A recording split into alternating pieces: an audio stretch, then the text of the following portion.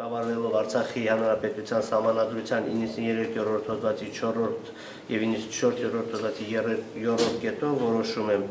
գեներալ լեյտենանտ ջալալ Անատոլի Արությունյանին ազատել Արցախի Հանրապետության Պաշտպանության նախարար Պաշտպանության բանակի հրամանատարի պաշտոնից եւ ղեկավարվելով նույն հոդվածով որոշում եմ գեներալ-մայոր Միքայել Ալբերտ Արզումանյանին նշանակել Արցախի Հանրապետության Պաշտպանության նախարար, Պաշտպանության բանակի հրամանատար, շնորհելով գեներալ լեյտենանտի զինվորական կոչում։ Եվ պարոն Արզումանյան հաշվի առնելով ստեղծված իրավիճակը հաջողություն եմ մաղթում մեզ բոլորիս։ Ես համոզված եմ, որ այն խնդիրները, որը դրվելու է ձեր արչև, Պաշտպանության բանակի հրամանատարության արչև, պատվով կատարելու եք։ Ծառայում